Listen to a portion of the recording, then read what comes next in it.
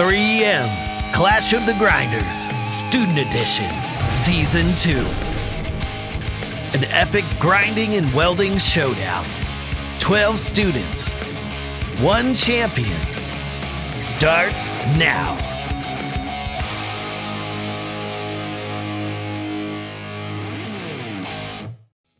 Brace yourselves for the adrenaline pumping sixth round of this competition. Each competitor handles the thrill of making it to the final round in their own unique way. Justin contemplates how he would spend his potential winnings. Winning this competition overall could help me in a lot of ways. Uh, some in irresponsible ways and some in very responsible ways. Of course, I'm gonna go the responsible route if I do happen to win. I think I'd like to save some of that money, and I think if I were to spend any of it, I'd put it at a welding machine. That way I could just regenerate back the money I spend and then get some more on top of that.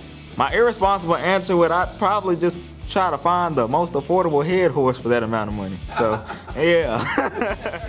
Jasmine revels a bit by flexing her girl power. How does it feel to beat a bunch of guys, me being a girl?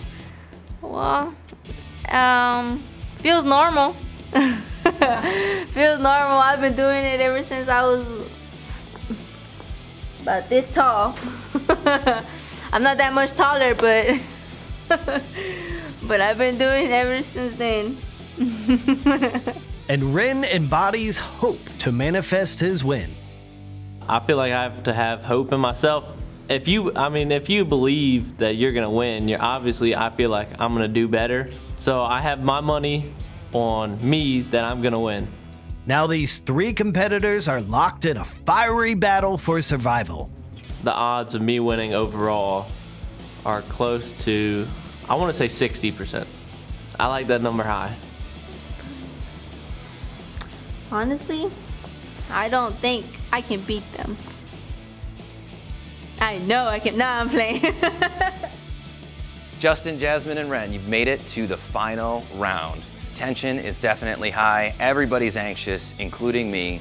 I'm very nervous about this final round. Um, I've been telling everybody I feel like if I weren't to make it here, to be a weight lifted off my shoulders a whole lot sooner because I don't have the pressure of trying to make it to the final round and do as good as you know you expect to do in the final round. But now that I'm here, it's a lot of pressure. For the final, final round? Oh yeah, I'm nervous. I feel relaxed because either way, I'm in the top three, so there's a boost in the prize, but I am nervous because I do not know what process we're doing, uh, anything about that. Somebody said that it was going to be fun. And so to ease some of that tension, we have a little surprise for you. Last year's Clash of the Grinder winner, Ben. Ben, come on in. Hey guys, how's it going? Nice to meet you. How's it going, guys? What's going on? Congratulations. Coming here last year, it's opened up so many doors. I've gotten to meet so many people through it. It's improved my welding tenfold. Just understanding prep work, finish work, and true cleanliness in the weld. Like, a lot of the times, if you're welding on dirty metal, that weld's gonna fight you the whole time. So, I mean, just getting to meet cool people, learn a lot about the industry, and then sides of the industry I didn't even know existed until I came here. Uh, it's opened my eyes to a lot of things. Good to see Woo. you. Absolutely, yes sir. Congratulations on your winning last year. What have you been up to since then? Uh, just a lot of work, uh, still in school, working, trying to learn everything I can, um, staying busy pretty much. Good to be busy. What kind of advice do you have for these guys as they go into the final round? I mean, I saw what y'all did on the last project. Y'all know what you're doing. You've done a lot of good work. Listen to these guys around you. They're all amazing professionals. They're experts in their field. If you need help, ask them for help. That's why they're here. And just go do what you know how to do. That's awesome advice. They'll tell you about 80% of welding is your prep, even 90% of it is prep, cleanliness, and getting it ready for that weld. The welding is actually kind of a small part. It goes by really fast, which sucks, but like getting good prep, good fit up, making sure that metal's clean, free of contaminants, which is all on your abrasive side. There's so much that goes into it. it's, it's a rabbit hole on its own. It, being exposed to that world, diving into that world, it, it helps a lot. One of the big differences with this last challenge is you guys are gonna get some lifelines. You'll be able to phone a friend, get some help from different people. So we're gonna ratchet up the challenge and we'll go find out what that is right now. Let's go. The crazy thing is y'all have ramped up the pressure this year a lot. Like, so their like third or second round was our final round last year. So that weld bead on plate and removing and prepping for paint, that's what we won the comp. That's, I mean, that was the final round for the competition this year. And they did that in like round two or three. So, I mean, this year they're doing full fab work. I mean, this final competition is gonna be fun. I, I just got to see it. It's gonna be cool. Y'all ramped up the heat a good bit, and I love the way it's going. Congratulations, everyone, on making it. I think all everybody did a great job. But you're our final three. Uh, in this next exercise, there's gonna be cutting, grinding, and welding. If you still want, I'd be more than happy to throw you two into full PAPR systems. That way you never have to take them off. Ben here has worn one for a couple years now. Would you guys like to do that? I'm not forcing you to either.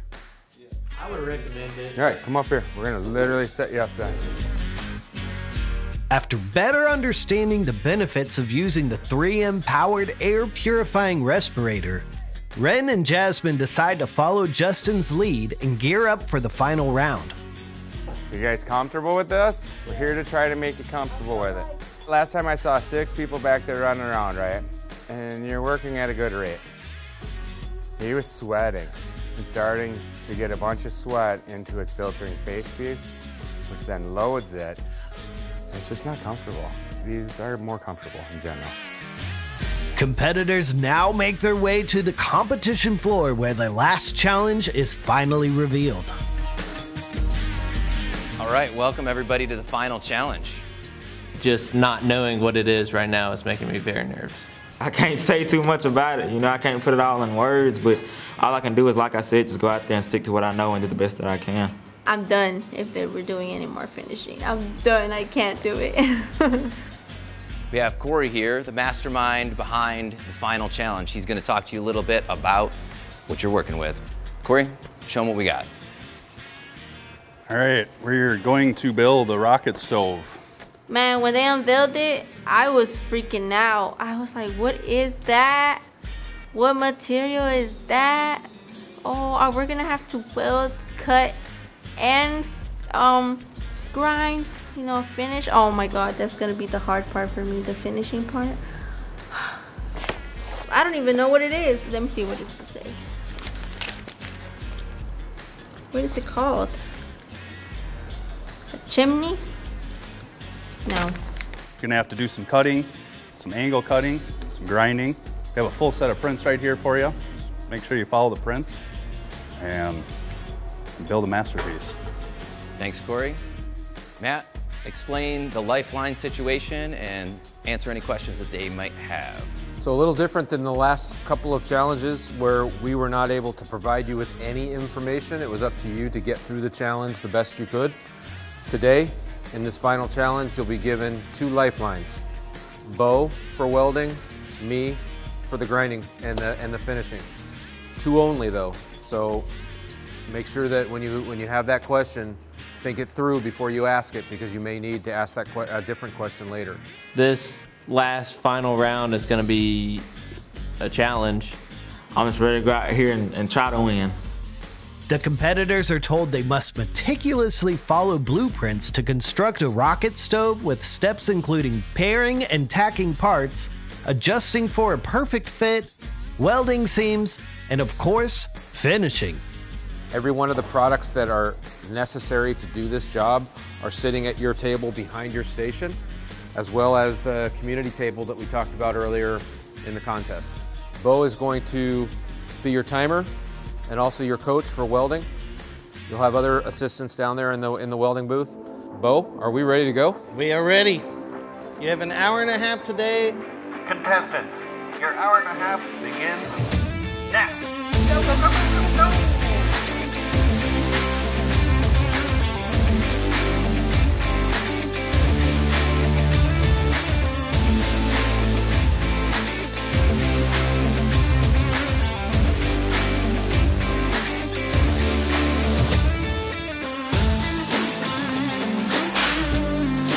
In this challenge, the competitor's ability to read and follow the blueprints is crucial for their success.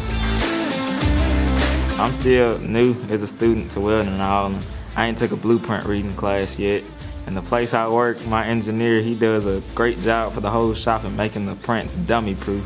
And the fact that the prints out there are all written in metric and he typically does standard so that way we can do a fraction and I, that makes a big difference. I mean, I can somewhat eyeball it and kind of guess around it. I hate doing that, but sometimes you gotta do what you gotta do.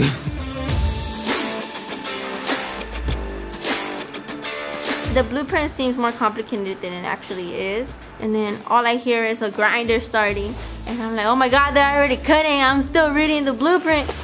Oh man, I was like, oh no, I'm not gonna be able to finish this in time. But I kept going. I was like, no, let me just let me just do what I, I think is best to do. Read it, um, understand it a little bit, and then start cutting.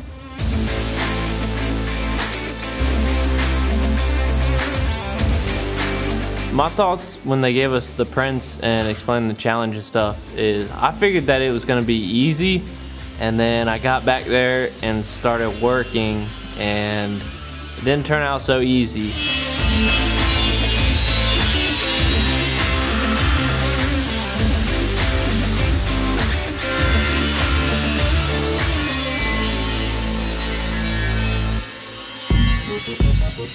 Judges will be scrutinizing weld removal, seam consistency, overall corner perfection, and visual finish.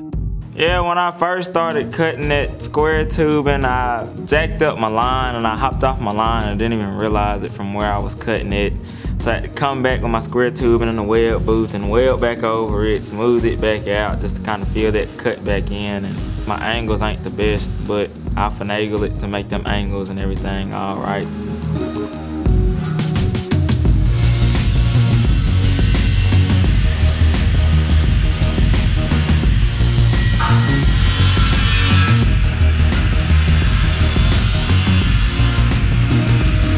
Given the high stakes, it's surprising none of the competitors opted to use their lifelines when they could have truly made a difference.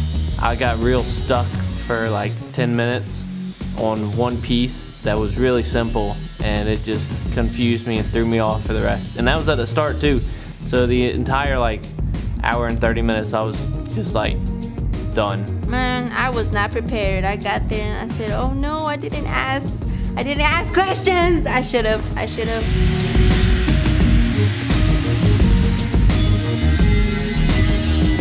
Competitors, you have 10 minutes left. 10 minutes remaining today.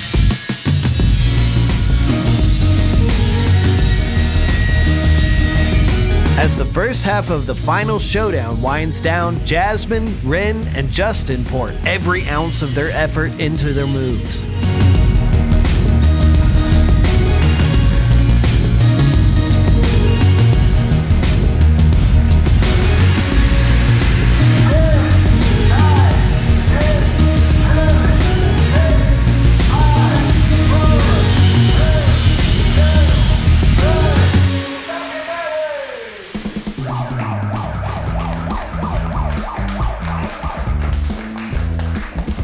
That hour and 30 minutes went by way quicker than I thought it was going to.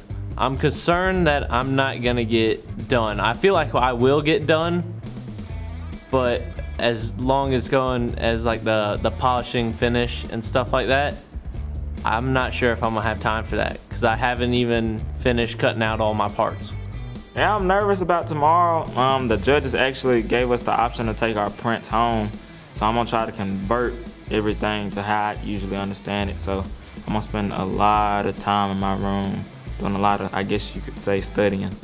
Tomorrow, well, I'm taking the blueprints home. That's for sure. I'm gonna look over it. I'm probably gonna call my instructor back at home and have him look it over with me. I also made a few mistakes that kind of set me back a little bit. I just fix them tomorrow morning, I guess. Tyler offered his help, so I'm gonna have Tyler's help. Tyler is gonna come to my rescue. so I'm excited for that. I'm excited to get the advice and see what I can do and maybe take that first place. I'm good. I'm just tired, ready to get up out of here. Next time on our season finale, get ready for the ultimate showdown as competitors are pushed to their limits, struggling to keep their hands steady under the relentless pressure of the ticking clock. Who will emerge triumphant?